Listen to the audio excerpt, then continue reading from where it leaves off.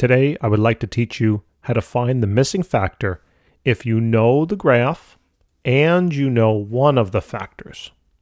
Okay, so what this problem tells us is that it, it is a third degree polynomial graph, so I know that this polynomial is degree 3. And I'm given this factor, and I notice that this factor has a degree of 2. In other words, if I'm dealing with a third degree polynomial, but I have one of the factors and it's a second degree, that means I'm missing a one degree polynomial, first degree. And a first degree polynomial has the following form of x plus or minus some value.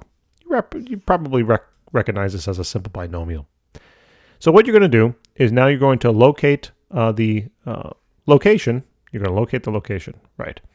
You're going to find the location where the graph intersects that x-axis. Now notice that it only intersects the x-axis at this one uh, place.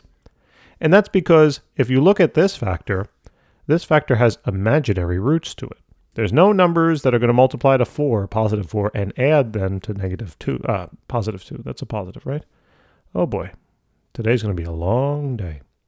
Anyway, so therefore, this graph should only now intersect the x-axis at, at one location, and therefore, this location of intersection will tell me now the value of my missing factor.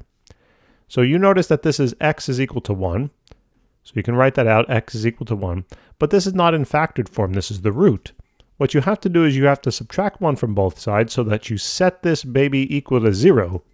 And then you might begin to notice now, oh, there's the factor, right?